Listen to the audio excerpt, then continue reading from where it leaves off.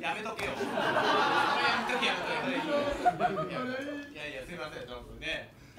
お客さんがたくさんいる。ねいっぱい来ていただいて本当ありがたいですよ。今日平日だよ。ね。平日にもかかわらず皆さんありがとうございます。暇なの？やめとけ。いやそんなことよりね頑張って漫才やっていこうよ。頑張りましょうよ。拍手。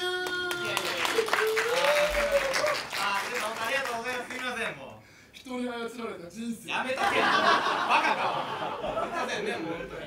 いやそれよりね皆さん昔話の桃太郎ってご存知ですよね。思ったのうん今日はね僕が桃太郎。お前が鬼をやって鬼ヶ島でね鬼退治するってのをちょっとやってみたいな。やってみよう。うんここが鬼ヶ島かうえ鬼だ鬼め覚悟しろやあああ俺頭悪いでも争い事良くないの分かるあこの森に住む者みんな友達。人間とも友達になりたい。やりにくいな。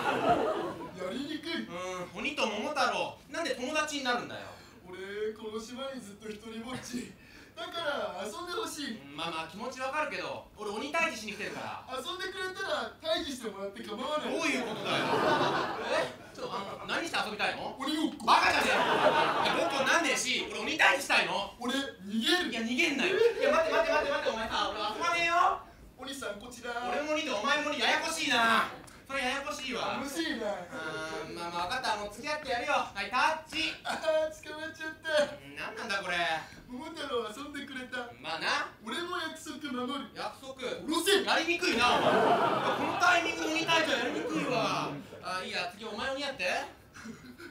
桃太郎。え？俺元から鬼だッケー何なんだこいつは一つ二つ三つどこだ桃太郎桃太郎桃太郎いなくなっちゃった初めて友達できたと思ったのに一人ぼっちじゃないと思ったのに桃太郎桃いやこ太郎こにいるわここにいるわお前ちょっと隠れただけだろお前いやおかっかまぎってタッチしちゃってんじゃんタッチしちゃったちょっと何やってんだよ楽しいなちょ次どうするうるせえやりにくいわ。待って待って完全に友達になってるな。友達。友達じゃなくてもう仲良くなるとかね鬼ごっことかもなしでもう鬼退治だけ。もう鬼退治だけを最初からやらせてくれ。うん。最初からやってみよう。よし。ここが鬼ヶ島か。早すぎるわ